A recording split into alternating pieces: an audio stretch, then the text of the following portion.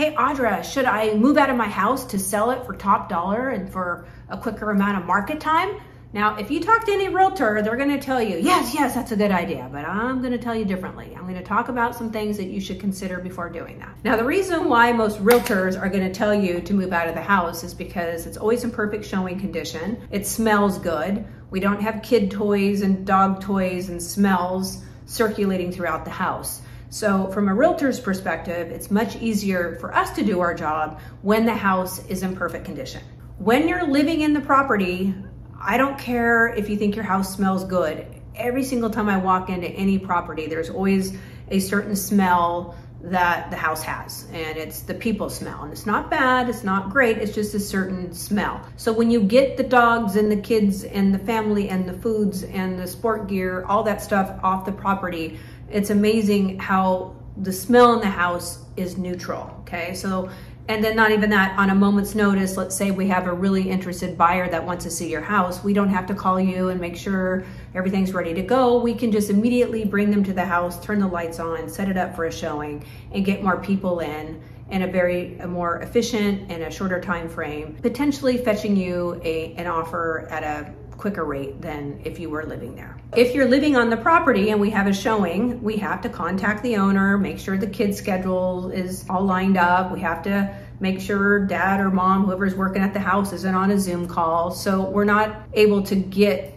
the buyers in as conveniently. And then once we finally get the buyers in, like I said, oftentimes things aren't picked up, you know, life gets in the way. I mean, we've all had days where the house isn't perfect, but when you go to sell your house, like literally every time, and I mean this people, every time a buyer comes into that property, it has to to look perfect. It has to smell perfect. Every little detail needs to be on point. And if you're living in that property, it's very difficult to do so. When the market was really hot, right? Last two years, we would put an open house up, we'd put a for sale sign up, we'd put the property in MLS, and we'd get 20 calls the very first day. And we'd have people lining out the front door and i'm not even exaggerating to get them into the property and multiple offers were the norm okay? Rates were down around 3% love that the super fun. And so during that market i did recommend my sellers to go find somewhere else to live because it was just a matter of time before we got their house in escrow. We wanted to show the house on a moment's notice and get as many people as we could into the property to fetch the higher price. But the market was really hot. We had a lot of interest interesting, interested buyers. So I did recommend during that era for people to move out, not even that, it was during COVID, so there was some safety reasons for recommending that.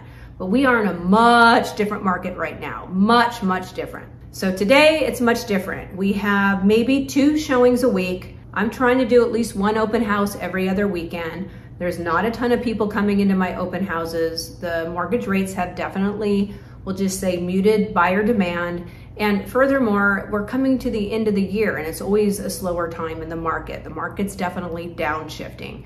So to move out of your property expecting that the house is gonna look perfect and you're gonna fetch top dollar, that was top dollar, and you're gonna have all this interest, understand we are in a much different market. So I'm not recommending that to my clients right now. Now I do have some clients that are like, Audra, I have pit bulls and snakes. I, I'm, I have kids and there's no way I can keep the house clean. We're gonna temporarily move somewhere because we just know we can't commit to keeping the house clean for three days a week. We just can't do it. So we're gonna make this investment in our house to you know locate offsite, but understand that if you're only having three showings a week, at least in my area, which is Orange County, California, it may not be financially advantageous for you to spend extra cost to rent something in the short term. Now, the downsides of moving off the property, especially if I'm not showing the property or your realtor is not showing the property, is that when a house isn't used, like crazy things happen. so in all of my vacant properties, I usually go around at the end of the day and I always make the water run for about five minutes because, you know, pressure can build up in the plumbing systems. And the next thing you know, you got slab leaks, you got sink leaks, something blows, okay? And if no one's watching that property because it's vacant, guess what? Some of these things can be, you know, we'll just say overlooked. And by the time you or your realtor notices the issue, it's a real problem. So if you are moving off the property, we know the markets are you know, a little bit slower, make sure a friend, a neighbor, or your realtor is checking on the property regularly. The other challenge about not living on the property is that the house, it gets dirty, right? So when you're living on a property, you're cleaning countertops, when we're doing open houses and we're having buyers into it, it gets it gets a little dingy. We spiders start growing, you know, on the the side of the walls, the leaves start coming in. So during this period of time, whether you're living in the property or whether you're located or vacant or on a big vacation, make sure you have those cleaning services and the gardening services, you know, consistently, at least every other weekend, coming to the property to make sure it's in tip top shape. So I don't care if you're living in your property or if the property is vacant. I'm always gonna recommend staging. I'm a staging girl. I did a few videos. I'll link it down below. I have owned my own staging business and my own design business, and I do know it makes a difference. Staging is expensive. You can do your own staging with some helpful tips. I always comp staging for my properties because I will put my own energy, time, and money behind the staging process because I believe in it so much. Now, if you are owner occupied, um, the stager will come out, they'll do a consult, they'll work with what you have.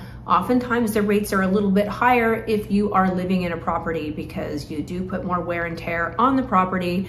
If you're non-owner occupied and the property is vacant, you know, stagers love that because they come in, they know that the, the furniture is not going to be dinged. So if you are owner occupied, oftentimes you might be spending a little bit more for the staging. A lot of stagers won't do owner occupied, especially if there's animals or bad habits like smoking and, you know, whatever, all that stuff. And if it is vacant, then obviously you, you'll get a benefit or sometimes a discount because the furniture isn't being, we'll just say, overused and damaged. You can also do a hybrid model, right? So on the weekends, maybe you work with your agent and you say, hey, listen, on these two weekends of the month, we're gonna be vacating and vacationing somewhere. So maybe you do a quick vacation, a couple weekends out of the month, and then allowing your agent to show the property during that period of time. Having access to the property and showing it in its perfect light is really gonna help fetch that price and also get your house into escrow at a much shorter period of time. One other tip that I would give is if you're living on the property I would highly recommend that you declutter, get those boxes, move them into a public storage. Sometimes it's two, three hundred dollars. I know that's money, and I know money's tight right now for a lot of people. But if you are living there, the less clutter, the less personal items that are on the property, especially in that garage, it seems like everybody's garage is maxed out. Let's try to move that off the property. So I would spend money in decluttering and staging before I would spend the money in locating offsite. So is it vital for you to move off the property to fetch the top dollar for the quickest amount of time? I mean, I'm gonna tell you it's not gonna hurt. I would just do the cost benefit analysis. There's a tremendous amount of inconvenience that goes into doing that. If you're a family with a lot of kids and pets and dogs, it might make sense for you to do that. But I'm telling you right now, the one thing that's gonna help you get your house sold for top dollar in the quickest amount of time is decluttering, staging, and making sure that you show your house in the best light. And once again, I will link a few videos that I've done in the past for that. All right, thanks for watching this video. If you have any questions, please reach out to me. Hope you got some value and please subscribe to my channel if you got any benefit. I'll see you in the next video.